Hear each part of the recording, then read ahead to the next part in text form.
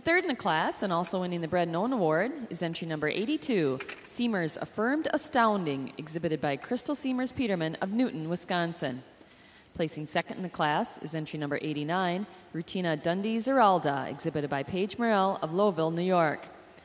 And winning the class is entry number 83, Ms. Chardonnay's Toy Class, exhibited by Caitlin and Blake Meyer and M. M. and M. Price of Manteno, Illinois. Congratulations. Judge Little, your comments.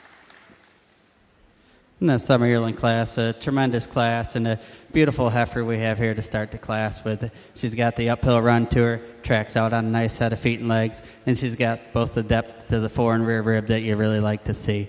Uh, a close place in between the top two, but when you view them from the side, we just we have a little more heifer all the way throughout, and uh, the first heifer, and the, the side view, just we got more depth all the way throughout, and first over second. But then second over third, she just uses her strength alone, a little more length of body today than the heifer that we have in third. Uh, the third place heifer over fourth, when you get him in line, her thurl stay up above her a little better, and the, we got more levelness from her hooks to pins at all times in the third heifer over the fourth. Uh, this fourth place heifer, a, a beautiful front-ended heifer, and the, you love the angularity to her. And then when they get in line, we have more width uh, when you view them from behind, and the real angular sweeping rib calf we have in fifth. Uh, fifth over sixth, just cleanliness. She's a little cleaner through the head and neck, a little cleaner down through the thigh than the heifer we have in sixth. And uh, sixth over seventh, with just uh, so much more heifer, so much more mass uh, than the real correct heifer that we have coming out in seventh. Really nice class of summer yearlings.